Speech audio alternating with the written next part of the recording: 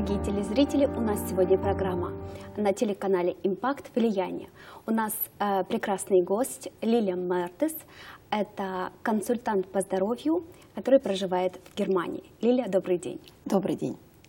Лилия, я знаю, что вы э, много сами пережили, много сами прошли. Э, тема Библии и здоровья очень широкая тема. Э, я знаю, что вы специалист в этой теме собственного опыта. Пожалуйста, поделитесь своей историей, как вы стали таким специалистом. Спасибо.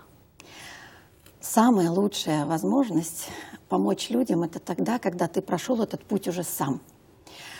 Ты набрался собственного опыта, может быть, даже горького, но зато ты знаешь, где есть какие-то закоулки. И когда я, например, думаю о такой истории, вот представьте себе, вы едете по фривею, и вы знаете, что спереди э, обрыв. И вы не можете быть равнодушными. Вы выходите из машины и останавливаете других, которые пролетают мимо вас, и говорите, будь осторожен, будь осторожен, там обрыв. Некоторые слушают, некоторые нет. Но если вы равнодушны к тому, что люди погибают, то в основном нет у нас любви или не хватает любви. Когда я начала выздоравливать, после того, как, конечно, имела очень большие проблемы со здоровьем, об этом я сейчас расскажу, угу. я ну, стала людям рассказывать о том, как я начала избавляться от этих проблем. Угу. Значит, вернемся немножко к моей истории. Да. Когда мне было 21, это 30 лет назад, я получила такой диагноз – сахарный диабет группы первой. И если кто-то знаком с сахарным диабетом группы первой, то это болезнь, которая, как говорят, переходит по, гене по генетике. Родовая. Да? Родовая. Да. И она мне сделала очень много проблем. Так как приходилось и немало работать в жизни, э, болезнь на болезнь как ком начинали набираться. И когда-то пришел такой момент, когда здоровье было уже никуда не годное. Хотя возраст еще, в общем-то, для болезни 21 был... 21 год здоровье негодное. 21 год здоровье негодное, да. Но самые большие сложности пришли к 40 годам, когда некоторые другие проблемы и стрессы добавились к этому. И Бог так сделал, что начал показывать мне путь здоровья через Слово Свое. И я все же пришла к выводу, что нету, я этот вывод и раньше знала, нету лучшей инструкции для человека, как Библия. Потому что в Библии написано все от здоровья духа до здоровья души и до здоровья тела. И когда мы обращаемся вот к этому слову, мы часто некоторые места просто проскакиваем. Ну, прочитали как историю, и на этом дело закончилось. Мне Бог тогда показал через многие семинары, потому что я пошла учиться потом на диетолога, что у Бога есть определенные законы. И Он эти законы поставил как для духа, как для души, так же и для тела. Когда Он сделал мне такую возможность освободиться внутренне, получить внутренний мир, это был самый первый шаг к здоровью. Потом он научил меня прощать. Это было второе важное дело. И очень важно еще, когда ты научился прощать, это правильные контакты, правильные отношения с людьми. Очень много людей, которые не несут нам положительные импульсы, в таком случае мы можем общаться с этими людьми, но только не для того, чтобы напитаться от них, а для того, чтобы дать им то, что мы получили от Господа. Потому что, получив от Бога вот это вот внутреннее удовлетворение, мы можем это дать дальше. Это то, что касается духа. Хорошо. А то, что касается души, это тоже внутреннее исцеление после того, как ты прощать учишься, после того, как ты имеешь правильное питание для духа. Но сегодня наша тема э, большей частью это тело.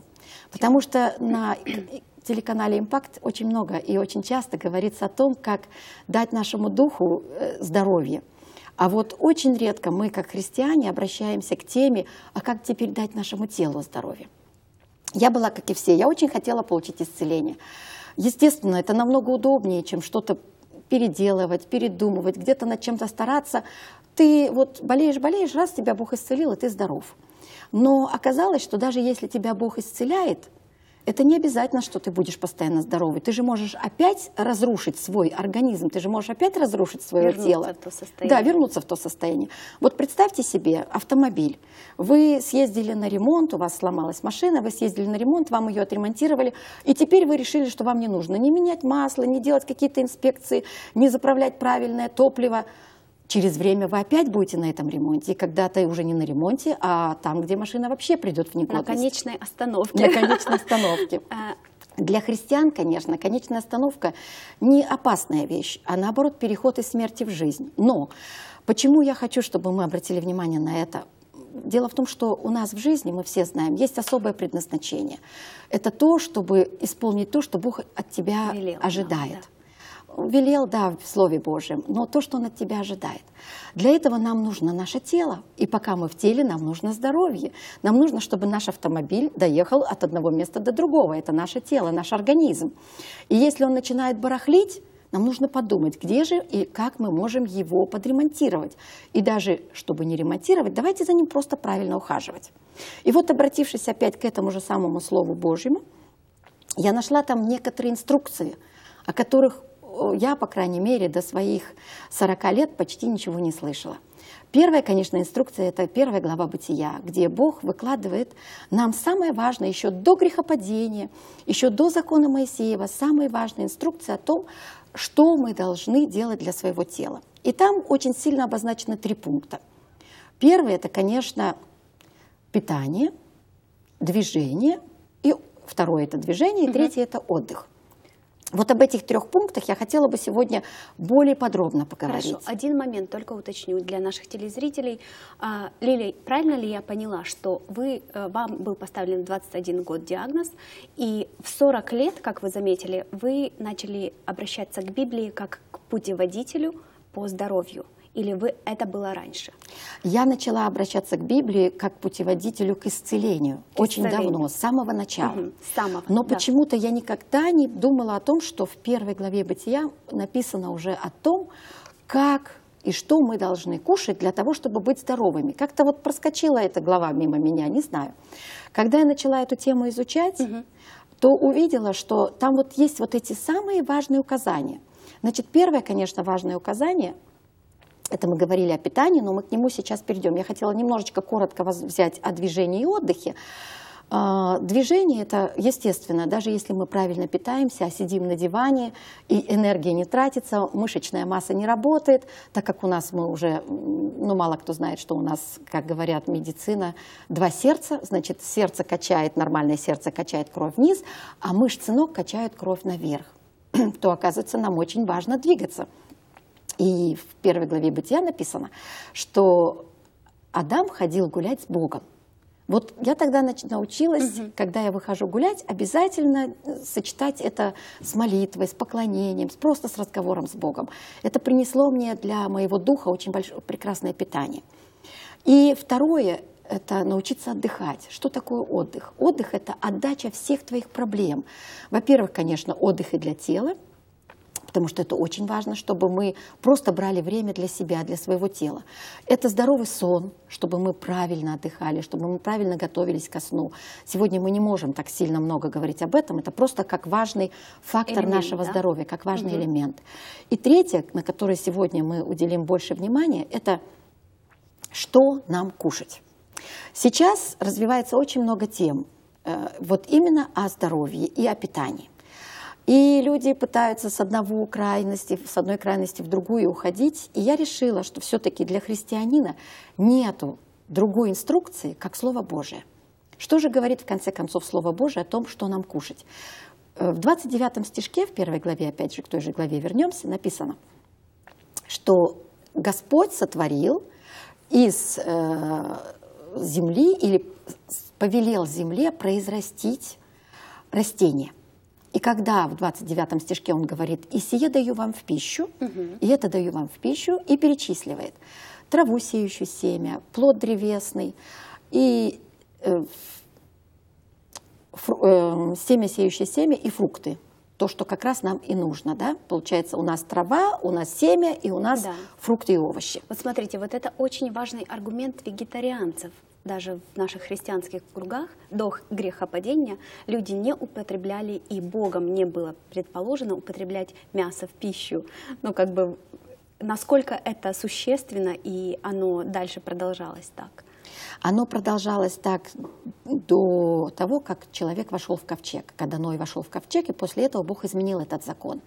Но интересно, что Бог разделил животных на чистых и нечистых до того, как сразу же после грехопадения, до того, как Ной вошел в ковчег. Мы как-то всегда считали, я даже помню из своей истории, что мы в основном обращали внимание на то, что это закон был Моисеев, когда Бог разделил животных и, и повелел человеку не употреблять в пищу э, мясо нечистых животных. Но оказалось, что Бог это сделал до этого. И это точно так же прошло мимо меня, хотя я родилась в христианской семье и выросла в семье э, священника или пастора.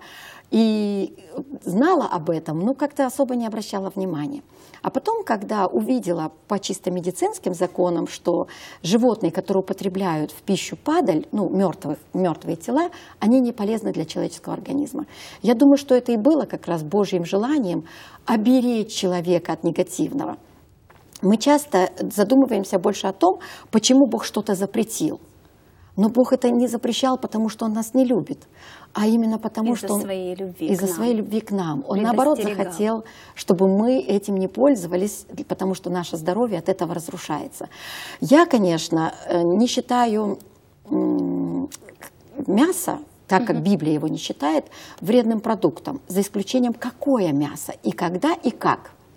Если мы уже говорим о вегетарианстве, Да, то, э, значит, когда люди выходили из, когда народ выходил из Египта, они были обязаны съесть ягненка, которого они принесли на Пасху. И, И это принесло им это принесло им спасение, спасение, исцеление. исцеление. Я предпочитаю тогда безмясную диету только в случае некоторых моментов, когда человеку нужно какое-то восстановление. В таком случае я даже, если у человека проблемы с кишечником, мы немножко об этом потом поговорим, то ему какое-то время даже нужно не чисто свежие фрукты, или чисто свежие овощи, а, скажем, овощи немножечко пареные, потому что бывают заболевания, когда тяжело переносится именно свежий, чисто свежий э, овощ.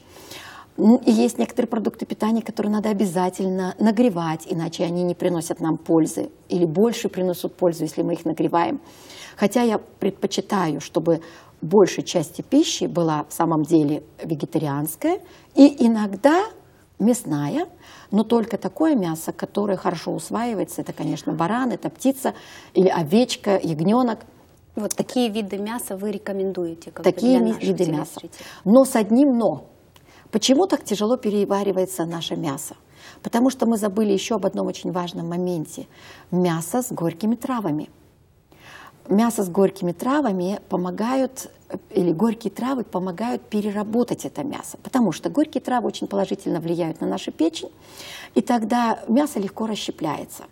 Так как мы убрали из ассортимента горькие травы, такие, как сегодня можно, например, использовать полынь, пижму, гвоздику, расторопшу. Можно это заваривать э, перед едой, например, и пару, пару глотков этой горьки- горечи выпивать. Есть специально шведские травы, которые уже составлены в- в- из, из гор- из горьких трав, которые способствуют переработке пищи. Просто оно как бы ушло из нашего обычая. с традицией нашей, традицией традицией. нашего питания. У нас пришла Кока-Кола, Пепси и все остальные напитки, которые как будто расщепляют нам быстро вот все элементы, которые мы употребили. Да, значит, если говорить о важных или полезных продуктах, то, конечно, исключаем мы из важных и полезных продуктов такие напитки, как Кока-Кола. И по одной причине. Там фосфорная кислота, потому что фосфорная кислота разрушает наше здоровье. Во- Во-первых, она забирает наш кальций из костей, а во-вторых, она разрушает поджелудочную. Это фосфорная кислота. Я не говорю ни о каких элементах, которые э, скажем, безопасны. В этом продукте я не знаю ничего, что безопасно для нашего здоровья. И вообще, если мы будем сегодня говорить о негативных продуктах, то это один из тех, которые мы не должны употреблять пищу. Особенно если это с аспартамом, это сахарозаменители. Но вот немножечко о том, что вообще, почему Библия так сильно на меня повлияла. Значит, когда я начала менять свой образ жизни, болезни начали уходить. Но потом я увидела, что некоторых элементов просто нету в пище. А почему их нету в пище? Этот вопрос тоже меня очень сильно заинтересовал. Я говорила с агрономами, с серьезными такими знаменитыми агрономами в Израиле, потому что Израиль все-таки более-менее еще поддерживается, придерживается библейских, библейских истин. Там седьмой год не сеять, там давать полю отдыхать, там используется намного меньше химических удобрений. И тогда мне сказали, что, оказывается, те химические удобрения, которые придумали люди в наше время, когда они попадают в землю, растение, которое должно взять минералы из земли, не может взять такой минерал, который называется цинк. Цинк, он окисляется от этих химических удобрений. И вот это уже первая проблема, от чего приходят наши болезни. Когда не хватает в, наш, э, в нашей пище цинка, который нужен нам для чего? Кожа, волосы, ногти, иммунная система – снимает менструальные боли, как обезболивающая таблетка. Он очень нужен при проблемах простаты. Он нужен для того, чтобы регулировать рост, регулировать вес, убирать жажду на сладкое. Вот как только не хватает одного такого простого, легкого элемента, его совершенно немного нужно, но его нету в наших растениях. В каком растениях. количестве вы в своей практике советуете употреблять людям цинк? Например, если оно так нам катастрофически не хватает. Э, сейчас он продается в виде капсул. И на каждой баночке будет написана дневная доза. Угу. Конечно, тем, кто здоров, хватает вполне этой дневной дозы. Тем, кто уже имеет какие-то серьезные заболевания, такие как аллергия, бронхит, проблема кишечника, раны не заживают, тем какое-то время нужно попить немножечко побольше, чем нормальная доза, которая там указана. Потому что существует такой закон, на баночке всегда стоит только столько, сколько нам помогает, или помогает поддержать наше здоровье.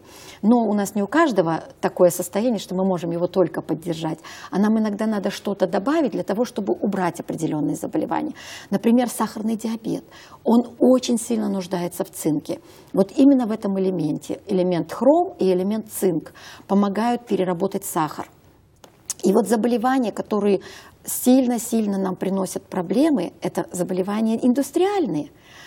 Интересно, когда мы говорим о том, что в неиндустриальных странах нету этих определенных проблем, то мы должны просто посмотреть, что мы делаем не так, что мы их получаем. Ведь кто-то на этой планете, на которой все вокруг ну, не настолько чистое, как хотел Господь, когда после грехопадения человек стал нарушать законы Бога, когда после грехопадения человек стал есть, что ему хочется, а в последние сто лет он даже стал менять свою пищу на искусственную, вот это самое страшное. Вот представьте себе, когда химическая индустрия стала употреблять вот эти пестициды, мы ничего с этим сделать не можем, эти химические удобрения. Мы почти это изменить не можем. Но мы можем изменить свое отношение к этому. Мы можем выбирать или не выбирать. И Библия говорит, избери себе жизнь, чтобы жить. Значит, шанс у нас есть.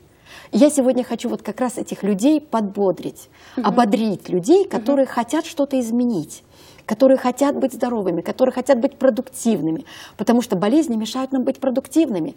Для того, чтобы исполнить свое предназначение в Боге, нам нужно здоровье. Хорошо, смотрите, Лиля, вы говорите о том, что пестициды, индустриальный мир, а, мы поменяли многое того, что, то, что оригинально Бог создал.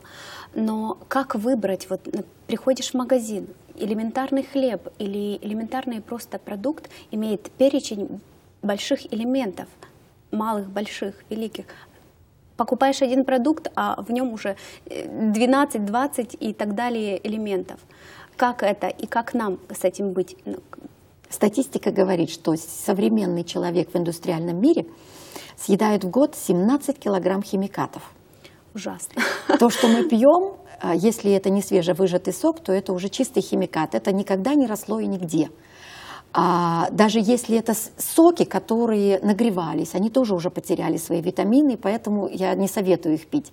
Первое и самое, конечно, важное – это понять, какие продукты особо вредные, какие продукты менее вредные, какие продукты полезные. Угу. И с, с этого, думаю, что мы начнем. Первый и самый важный продукт – это вода если это будет присутствовать в нашей жизни, это будет первый огромный плюс. Но воду опять надо научиться пить, и надо научиться пить ее правильно. Конечно, я скажу, может быть, в, в, э, в литрах, потому что я не знаю ваших мерок. Значит, человеку надо в день 30 миллилитров угу. воды на килограмм веса. Если кто-то весит 50 килограмм, значит ему нужно полтора литра. Если кто-то весит 100 килограмм, ему надо 3. Потому что все люди ищут, какие возможности. Кто-то говорит столько, столько. У нас есть вот эта медицинская формула. Это наш минимум. И это говорится о воде. Это не говорится ни о кофе, ни о чае, ни о кока-коле, ни о чем. Чистая вода. Теперь, когда ее начинать пить? Когда мы просыпаемся утром, у нас еще второй клапан в желудке приоткрыт. Поэтому самая первая, самая важная вода – это вода в кровати. И если возможно, то лучше, чтобы она была теплая. Почему опять теплая? Мы, вы в Америке, мы нет, мы в Германии не пьем У нас холодную лед, воду. конечно, да. Да. Привыкли пить холодную воду. Да. Это дело только привычки. Но если мы поймем, что мы воду греем почками, потому что, скажем, желудок наш – это такой мешочек, он не- не имеет возможности согреть вашу воду, а сзади него стоят почки, они нагревают эту воду. И если мы хотим предотвратить эту проблему, то нам лучше избегать холодной воды. Значит, утром самое важное – это выпить стакан теплой воды.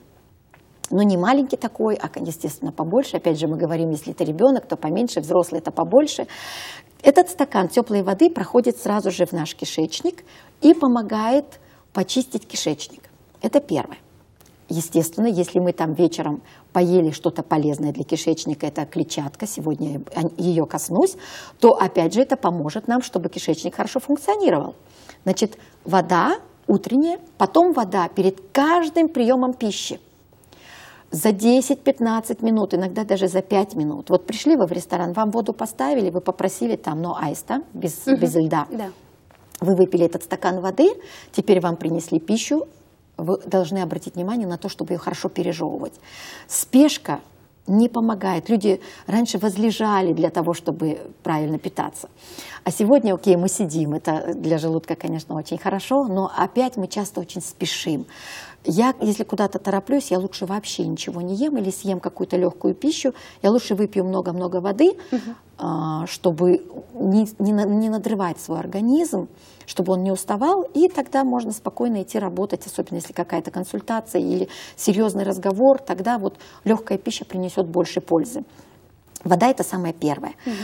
Избегаю совершенно. Я буду рассказывать сегодня о своем собственном опыте, потому что я не хочу, а, чтобы потом сказали, что вот это или это это антиреклама. Ни в коем случае. Я не делаю никакой антирекламы. Я говорю о том, что я нашла в Слове Божьем, что я считаю для себя самым важным аргументом, что для меня Что вам инструкция помогло и что непосредственно мне помогло избавиться от заболеваний.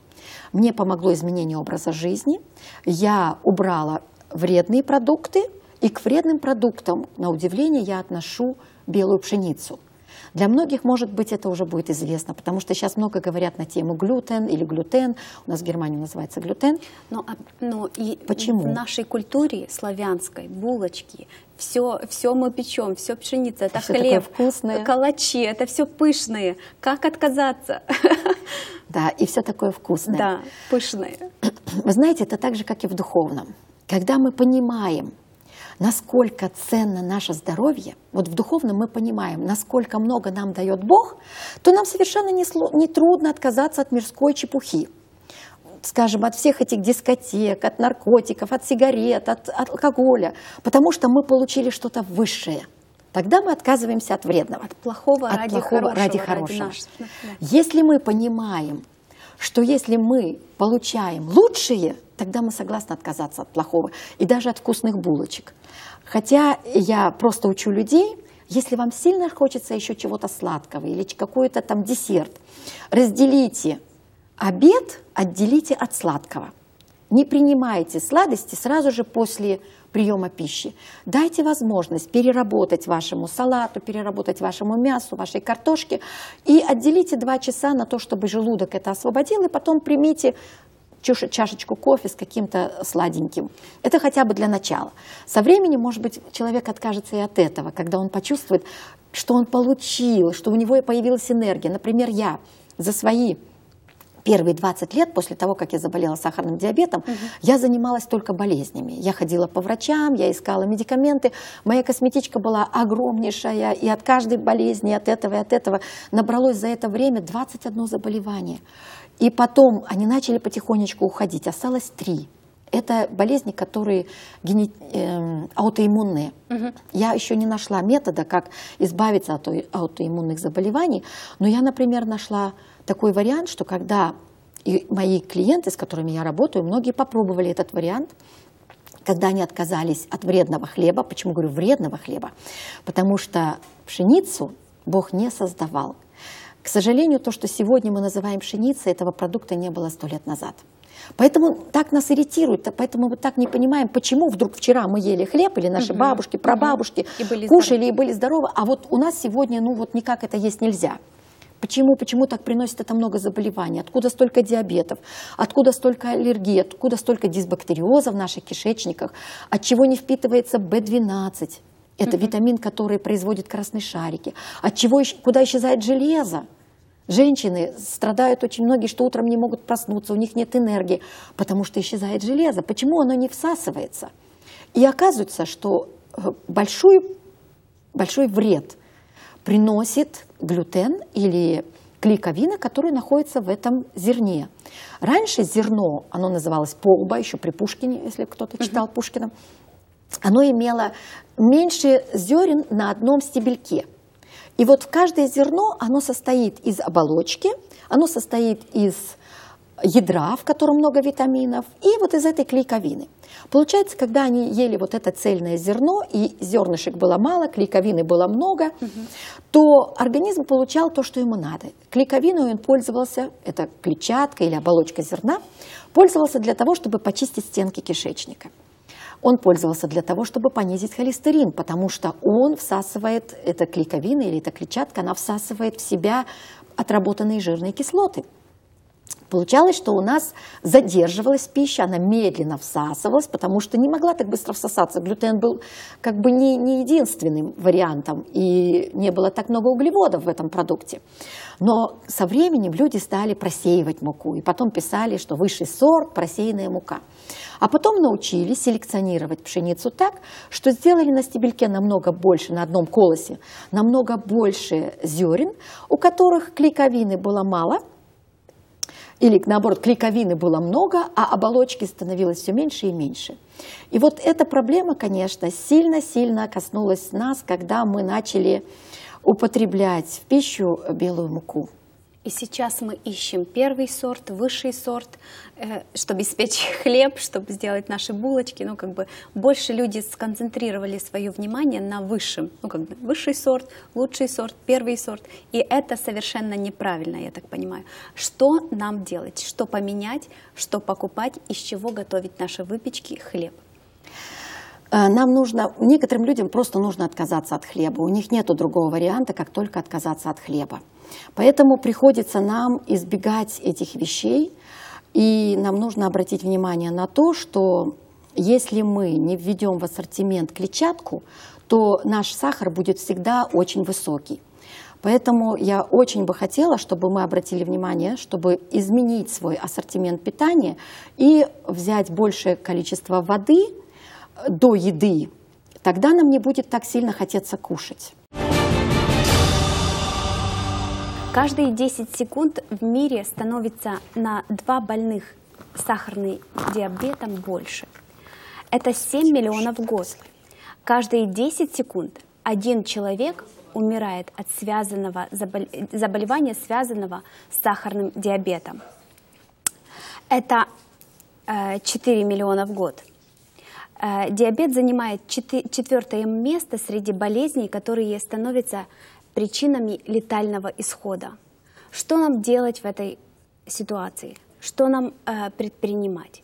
Я думаю, Лилия, как э, специалист в этой э, области, сама прошла э, это время, сама прошла эту болезнь, сама страдает от этого и преодолевает до сих пор такие моменты, она больше нам подскажет, как выйти из данной ситуации, что нам сделать и а, чтобы быть здоровыми, чтобы в здоровом духе был э, здоровый человек. Мы все христиане, и мы все знаем, что а, здоровье — это залог нашего духовного состояния, духовное состояние наше, хорошее духовное состояние. Это также залог того, что мы а, здоровы, хорошо себя чувствуем. Поэтому, Лилечка, пожалуйста, я вот назвала статистику ужасающую по поводу сахарного диабета. Скажите, пожалуйста, а, что делать в этом случае? Каждый, смотрите, каждые 10 секунд один человек умирает в мире от проблемы, связанной с сахарным диабетом. Есть два вида сахарных диабета. Э, один из них генетический диабет, который очень трудно э, предотвратить. Конечно, я очень за то, чтобы мы молились об этом, чтобы Бог разрушил эту проблему. И я стараюсь очень много молиться о своих детях, чтобы это не перешло дальше. Но оказывается, что мы можем кое-что предотвратить если мы наладим кишечник. Странное кажется, вроде бы, причем тут диабет и причем mm-hmm. тут кишечник. Оказывается, когда стенки кишечника разрушены, он намного труднее воспринимает элементы, которые сохраняют наше здоровье. Потому что кишечник как раз за это ответственный, на то, чтобы впитать в себя витамины В12, любые витамины. Потому что желудок работает только на то, чтобы пищу эту расщеплять, а уже кишечник работает на то, чтобы эту пищу преобразовать. Угу. Ну, конечно, там работают и железы внутренней секреции, и, и печень нужда, нужда, э, дает свои ферменты очень важные. Но как раз разрушенные стены кишечника сильно способствуют тому, что у нас э, появляется диабет, скажем, группы первой, поэтому за этим нужно следить. Это нужны время от времени пробиотики, это бифидобактерии, лактобациллы, они продаются даже в виде капсул. И когда мы употребляем это или в виде порошка, вот я предпочитаю больше порошок, когда порошок мы растворяем в воде, то э, получается бактерии уже смогли ожить, эти, которые выращиваются где-то в лабораториях, и они нам очень часто бывают нужны особенно после антибиотиков. Потому что антибиотики, мы уже говорим о том, анти, да, это да. значит биотик убивается. Антибиотики убивают эти пробиотики, а пробиотики добавляют опять то, что мы потеряли. Это один из важных элементов. Второй очень важный элемент, говорила уже, это цинк. И если мы хотим еще предотвратить диабет, то нам нужно избегать лишнего веса, потому что если это приобретенный диабет, то он очень часто зависит от того, насколько много у нас клеточек. Ведь представляете, эти все клеточки надо снабдить инсулином. Поджелудочная работает в нагрузку. Клеточки засоряются от того, что питание неправильное. Клеточки не имеют тех важных элементов. И даже иногда просто похудев, уходит сахар. Иногда просто начав двигаться, уходит сахар, потому что как раз-таки в мышцах ног та энергия расходуется, которую мы поглотили. Угу. И вот тут лишний вес это тоже сегодняшняя проблема сегодняшняя. Вот я это хотела заметить. Смотрите, страны западного мира, Америка, Европа, все, все эти индустриальные развитые страны страдают от лишнего веса, от избытка этого лишнего веса. Вот смотрите, статистика маленькая, только в Америке 67,6 миллионов людей э, страдают ожирением, 65,2 миллиона людей избыточным весом. Это на э, данные 2012 года. Причины, выход. Человек, который заметил, что набирает вес, что ему делать? Есть у нас несколько причин лишнего веса. Первое, это опять говорили нехватка того же самого элемента цинка. Я, например, всегда начинаю с него, если я вижу, что человек хочет изменить свой образ жизни. Угу. И это далеко не дорогой элемент и каждому почти доступный. Просто о нем мало очень говорится, и его люди почти не знают. А, он помогает убрать жажду на сладкое и регулирует аппетит. Это же наше самое первое. Второе, конечно, нужно обратить внимание на работу железы щитовидки. Да? Часто щитовидка не так хорошо работает, как надо. Она очень сильно нуждается в селении и в водорослях кельп, потому что часто бывает, что щитовидка нарушилась от того, что была радиация, или просто по каким-то стрессовым ситуациям, потому что она первая, которая реагирует на стресс. Третье – это заклеенные стенки кишечника, об этом мы уже говорили, что элементы просто не всасываются, и поэтому у нас начинается сбой, и от этого мы полнеем. Четвертое – это бывает больше, ча чаще всего у женщин, когда еда становится наркотиком. Когда у человека стресс, проблемы, да? что он начинает? На кухню, холодильник и вперед запихиваем в себя все, что возможно. В таком случае нам нужно обратиться к Богу, вот именно если еда стала нашим наркотиком. Потому что дьявол предлагает человеку как бы на блюдце или на блюде очень многие э, такие так называемые нам вкусные варианты но они вредны для нашего Тем более здоровья. сейчас реклама работает только на то, чтобы человек употреблял, и все, э, что нам вредит. Да, смотрите, мы говорим уже, вот мы от сигарет отказались, вот мы от наркотиков отказались, дайте нам хоть поесть вдоволь. И вот тогда еда становится, и вот в Библии написано, Бог их чрева. Если мы уже настолько не можем остановиться перед этой пищей, то, естественно, становится лишний вес, потому что приход-расход – вот об этом, это следующий фактор, uh-huh, да? Uh-huh. Когда количество калорий, которые вошли в нас, выше количества калорий, которые вышли, из, которые вышли из нас. И поэтому э, или которые мы потратили, вот, чтобы мы потратили да. их в энергию, да, израсходовали. Э, в банке было бы наоборот лучше, да, доход у нас выше, чем наши расходы. А вот что касается нашего веса, если он у нас нормальный, то у нас должен быть плюс-минус ноль. Сколько пришло, столько мы срасходовали. Если он у нас выше, чем надо, мы должны обратить внимание на пищу, которая лишняя калорийность. Но я против каких-либо видов диет вредных. Я за здоровый образ жизни. Мы больше тогда употребляем овощной пищи, поменьше калорийной и немножечко э, белка, на который так сейчас сильно-сильно обращать внимание, там животного происхождения. Я за то, чтобы люди два раза, три раза в неделю кушали мясо, но не больше. Э, помните историю о блудном сыне, когда он вернулся, и отец заколол бычка для своего тельца, младшего сына да, или тельца. Лучшего, да. да. А этот обиделся, угу. старший сын. Да. Сегодня бы никто не обиделся, если бы родному брату больше колбаски дали. Хотя колбасу я вообще не считаю за продукт питания, который нам полезен, потому что там, кроме мяса, еще очень много различных элементов, которые делают это вкусным и которые делают это неполезным. Поэтому этот продукт питания я тоже избегаю. Теперь еще проблема э, номер пять – это растянутый желудок мы настолько часто заставляем детей своих доешь, доешь, доешь. Если это полезная пища, то я предпочитаю детям лучше раскладывать где-то, особенно маленьким детям. Сейчас у меня растет внучка, и сейчас будет уже внучок. Я стараюсь им, ей выставлять вот где-то яблочко, где-то угу какую-то ну, морковочку, где-то огурчики, где-то э, болгарский перец. Вот просто нарезать и поставить там, где доступ есть. И ребенок вместо печеньки, к которым привыкают дети, лучше съест вот эту пищу. И если я вижу, что э, пища не полезная, то я его вовсе не буду заставлять. Я видела на свадьбах, где ребенок не хочет кушать торт, а родители его заставляют, а потом, когда он начинает набирать вес, его холодильник перед ним закрывают. Сначала мы ему растянули желудок, сначала мы приучили его к вредной пище, а потом мы начинаем запрещать ему эту вредную пищу, а он уже к ней привык. Я помню, в старые времена я тоже делала такую ошибку, когда мы ездили с детьми в Макдональдс праздновать дни рождения, и я соблазняла детей на это. А потом, когда мои оба ребенка, девочка и мальчик у меня, заболели аллергией, притом серьезной аллергией, так что текло из носа, из глаз, я начала изучать эту тему и с Божьей помощью, со всеми вот этими вот элементами, особенно, скажем, масло черного тмина, нигела называется, это, угу. это египетский такой продукт, он, он тоже продается здесь свободно, да, он помогает от аллергии. Потом пробиотики, были важны в таком варианте. Потом вот этот именно цинк, потом овощи, фрукты, ягоды. Если еще у человека нет аллергии на эти овощи, фрукты, ягоды, Конечно, стараюсь биологически чисто, но не всегда получается. Но даже если оно и не настолько чисто, как нам хотелось, оно хотя бы видело солнце, оно хотя бы получило витамины, которые нам нужно.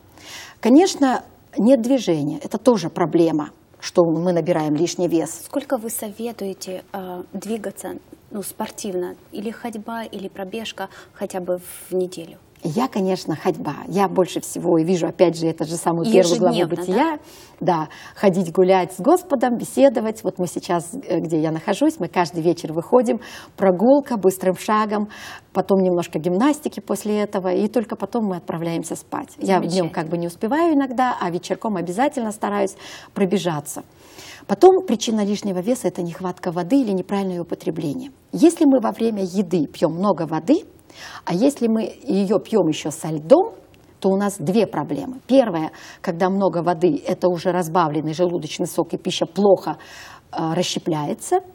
И вторая проблема, когда мы пьем со льдом, у нас у желудка есть рецепторы, которые нам говорят, вы сыты.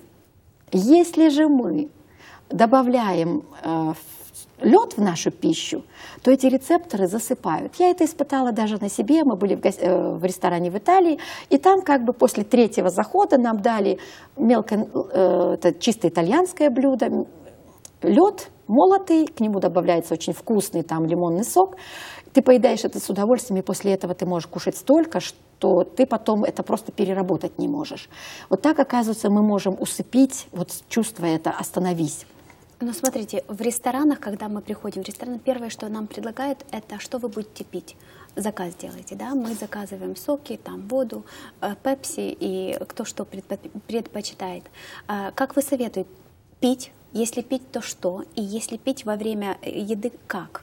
Да. Если человек не может э, без воды, вообще исключить это из рациона, пока ты кушаешь. Я тоже бываю часто в ресторанах, потому что я проработала у вас в Америке 8 лет, это было 10 лет назад. И я много знакома с вашим образом жизни и скажу, что здесь надо держать себя точно в руках. Э, В этом, конечно, очень помогает молитва и понимание, что твое тело тебе дается один раз, и в шкафу нету запасного. Да.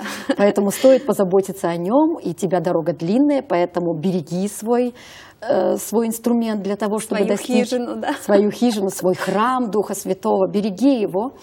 И я стараюсь не пить во время еды или минималку. Если, конечно, пища такая сухая, то, естественно, я выпиваю там ваших полстаканчика, даже меньше, потому что у вас стаканы очень большие. Я никогда не пью со льдом, ни на завтрак, ни на обед, вообще никогда. Я лед не употребляю. Я очень редко употребляю какое-либо мороженое. Стараюсь вообще ни холодное, ни горячее не употреблять. И тоже объясню, почему. Потому что, когда мы употребляем сильно горячее, мы сжигаем пищевод. И многие люди потом страдают проблемой пищевода, потому что употребляют сильно горячее. А, Во время обеда минималку, после обеда 2 часа не пью ничего и не ем никакие десерты сразу после еды. Я когда раньше летала много, то в самолетах очень часто дают тебе конечно, хоро- пищу, а потом всегда добавляют какой-нибудь кусочек тортика и кофейка там. И по Печенюшку. привычке нашей домашней русской мы привыкли, что у нас всегда был такой большой обед шикарный, а потом, естественно, заносилось и Десерты. дополнительно десерты, да. И все хозяйки из всех сил старались, чтобы торты были прекрасные и вкусные, я понимаю. Я помню времена, когда я начала поправляться, и это было время, когда я сказала, все, в нашем доме больше не будет белой муки. Я тогда еще не знала, что она вредная, я просто почувствовала, что я стала поправляться. Когда я убрала ее, вес просто сам автоматически вернулся. Я пришла к такому выводу, когда мне говорят, я пеку, потому что люблю детей, а я говорю, а я не пеку, потому что люблю детей. Но э, зато приходится немножечко больше задумываться, чем кормить, потому что как раз дети были в подростковом возрасте. Дети не очень хотят слушаться в тот момент, потому что мама говорит, не ешьте там гамбургеры или еще что-то. Тем более вы сами их немножечко к этому ну, Приучаю. приучили. Да, да, да, да. Сама, сама позволяла, да, а, А теперь потом вдруг нельзя. да. Да. Вы пришли уже к этому, а дети как остановиться? И вот тогда я начала учить детей не сама.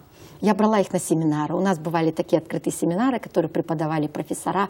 У нас сегодня в интернете куча информации для детей и фильмов.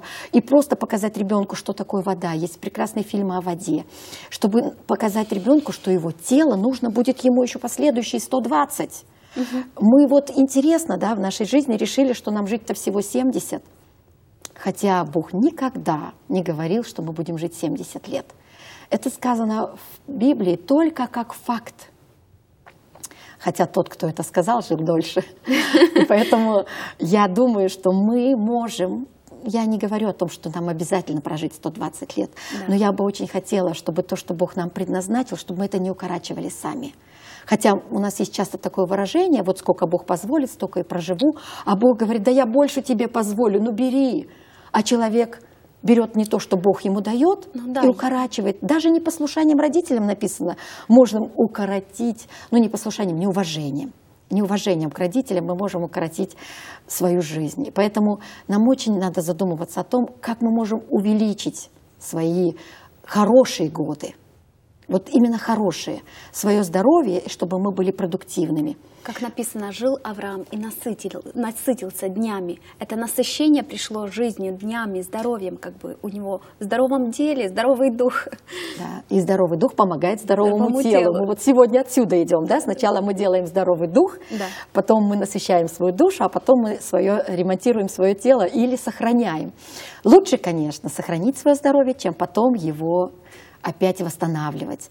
Есть такая поговорка, что в первую половину э, нашей жизни мы тратим все свои деньги, ой, все свое здоровье, чтобы заработать деньги. А во вторую половину своей жизни мы отдаем тяжело деньги. заработанные деньги, чтобы восстановить потерянное здоровье. Вот сегодня у нас много молодых, я думаю, слышат. И, пожалуйста, особенно молодежь, ожидающая детей. Подготавливаться нужно к браку, подготавливаться нужно к родам, к беременности нужно подготавливаться, и люди об этом не знают. Даже цинк, например, способствует тому, что у нас были дети, чтобы они вообще были, а потом, чтобы они были здоровы. В таком случае, конечно, нужно цинк пить не только женщине, а и мужчине, для того, чтобы э, были у нас дети. Потому что часто бывает задержка именно за этим. А потом в жизни, когда, когда женщина беременная, да, она начинает э, уже опомниться и начинает что-то делать для себя. А вот год до этого, когда была подготовка тела, вот как поле. Вот представьте себе, вы хотите сеять, вы же готовите это поле. Конечно. И вы же удобряете это поле для того, чтобы оно приносило хороший плод.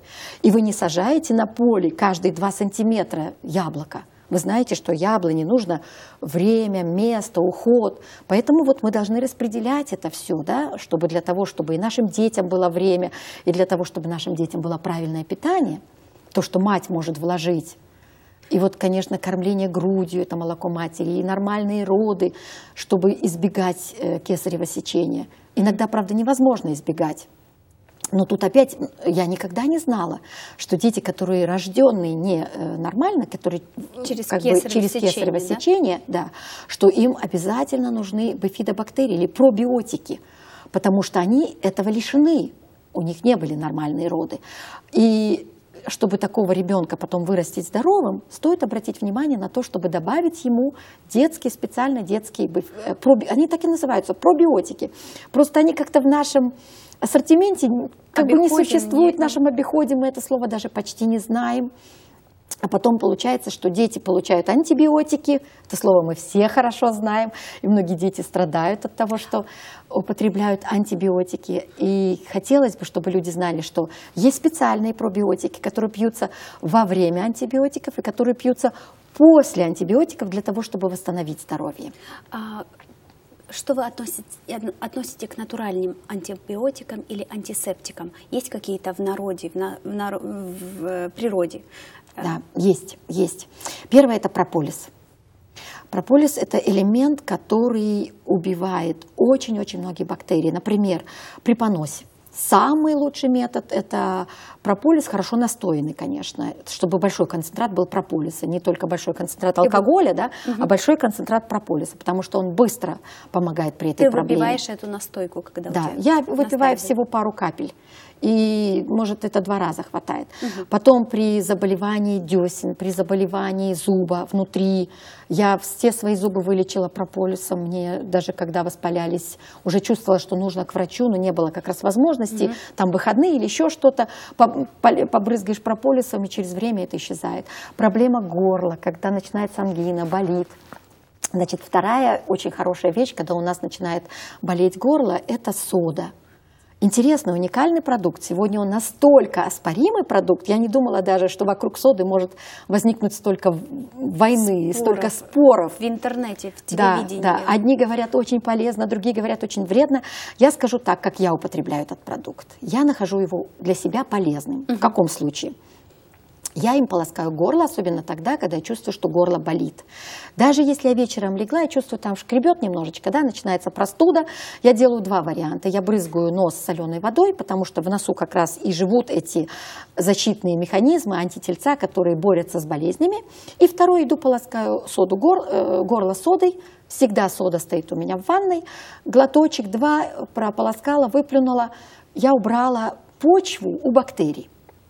Это второй антизептик, так называемый. Теперь еще существуют натуральные антибиотики. Это кордицепс. Может быть, здесь это слово неизвестно, может и известно. Это э, китайский гриб, который является натуральным антибиотиком. И я употребляю его в случае, если я начинала простывать, то я сразу же пью кордицепс. Третье это, или четвертое, сейчас уже одно из них, это чеснок. Это тоже очень хороший, помогающий против вирусов, против заболеваний и даже для сердечно-сосудистой очень полезный продукт. Думаю, что почти каждый человек с этим знаком. И, конечно же, а, один из важных продуктов во время простудных заболеваний – это витамин С или витамин С по-русски. Да? Почему он важный? Он помогает бороться с антиоксидантами. И тогда мы намного быстрее или выздоравливаем, или вообще не входим в это заболевание. Я употребляю косточки грейпфрукта или вытяжка из косточек грейпфрукта, когда чувствую, что у меня начинается простудное заболевание. Кстати, они же являются сильными антипаразитарными продуктами. Так же, как и против паразитов, очень хорошо куркума, по-вашему, тер... куркума. Куркума – это термерик, по-моему, да, или турмерик – турмерик, наверное, так будет по-английски. Ну, по крайней мере, международное название у него куркума или куркума, каждый народ делает свое ударение. Этот продукт очень хорошо против паразитов. Еще против паразитов есть масла, масло черного тмина, хороший продукт против паразитов, и некоторые травы. Ну, тут только открываешь интернет, пишешь натуральные методы против паразитов. Сегодня такая возможность получать информации. Ну, конечно, скажу, что интернет полон и информации, которая перечит Слову Божьему. В таком случае я, конечно, вот именно говорю, когда мы занимаемся веганством и вегетарианством не из-за того, что нам как раз сейчас нужно это сделать для здоровья, а из-за того, что у нас появилась какая-то духовная идея, и мы должны обратить внимание, кто стоит за этой темой. Или даже сыроедство, кто стоит за этой темой. Вот это мой вопрос, как бы э, при таком изобилии и количестве информации в интернете, в том же интернете, как правильно выбрать э, необходимый нам э, article или э, материал, ресурс, чтобы воспользоваться и чтобы мы смогли найти для себя что-то полезное и помочь своему организму и здоровью. Я, когда заболела сахарным диабетом, это уже сейчас 30 лет назад, мне сказала моя врач, если ты не изучаешь свою болезнь сама, не изучишь, не изучишь свою болезнь угу. сама, тебе не поможет ни один врач. И она сказала правду. Я начала изучать, как функционирует поджелудочная, чем ей помочь. И многие врачи, которыми я встречалась позже, они мне говорили, вы ничего изменить не можете, у вас, и вот болезнь набирались, набирались, у вас сахарный диабет, что вы можете сделать? И когда я вот меняла свой образ жизни, начала пользоваться определенными биодобавками, я очень за хорошие биодобавки, угу. начала пользоваться ими, я увидела, что, оказывается, я могу очень много что сделать. Я стала себя чувствовать все лучше и лучше и лучше. И тогда уже, конечно, своим близким, особенно близким, естественно, помогала восстановиться, подсказывала, вот это вы возьмете, вот это вы возьмете. И тогда я увидела, что мы можем много что изменить. И вот когда мы смотрим интернет, то я с молитвой. Я многие вещи просто чувствую, это не от Бога. И, естественно, книга Библия для меня тогда путеводитель. является путеводитель. Когда мне говорят, что Бог не предназначил мясо для того, чтобы его кушать, извините, Христос преломил рыбу, или рыбу и мясо, там мясо тоже, да, на, на Пасху, естественно, он употреблял мясо. Тут невозможно было без него, иначе бы он не был из еврейского народа. К этому, к этому моменту э, Христос преломил хлеб и рыбу.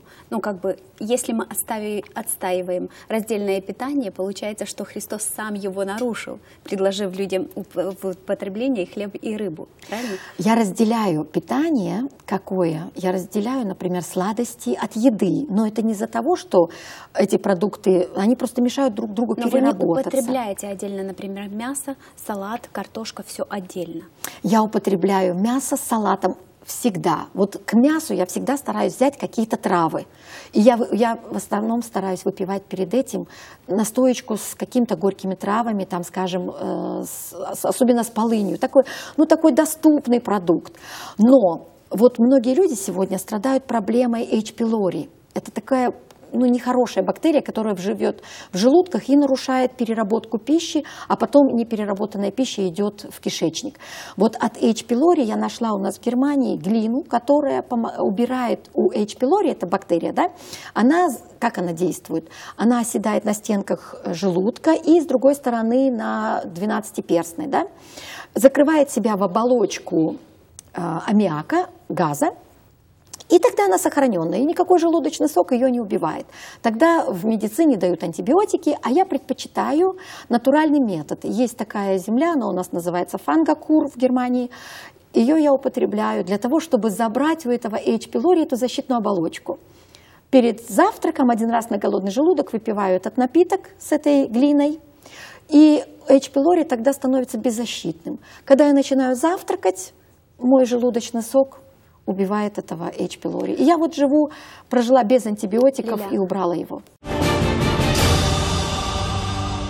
А, пожалуйста, скажите, завершение, что вы бы хотели для наших телезрителей? Я хотела бы еще сказать, что соки, которые можно употреблять и лучше употреблять, когда мы болеем какими-то заболеваниями, это свежевыжатые овощные и фруктовые соки. Например, яблоко, морковка, брокколи, свекла. В общем, все, что создал Господь, все, что из сада Господня, пусть не из Едемского, пусть из соседского, но это будет служить вам даже если вы находитесь в серьезных заболеваниях, при химиотерапиях, и вам нужно поддержать свое здоровье, это очень важно. Но к этому соку хорошо добавить чайную ложечку льняного масла. Я думаю, что если человек будет вот видеть, что основа питания – это Библия, это духовно, физически и э, душевно, то мы там найдем вот именно ответы на эти вопросы. Поэтому я желаю, чтобы вы поняли ценность вашего здоровья. Я хочу сегодня не, я хочу как раз-таки подбодрить вас. Стоит ухаживать за телом, стоит заботиться о нем. Я это знаю из собственного опыта. Я чувствую себя сейчас лучше, чем 25 лет назад. А время уходит, сейчас 51, и я все еще чувствую себя молодой, и думаю, что если я смогла пройти этот путь, вы тоже сможете пройти. Поэтому ободритесь, укрепитесь в Господе, перейдите на то, что говорит Господь для пищи, и несите это своим детям, несите это своим Хорошо. близким. Спасибо, Лилия, за ваше время. До свидания, наши друзья, и будьте здоровы.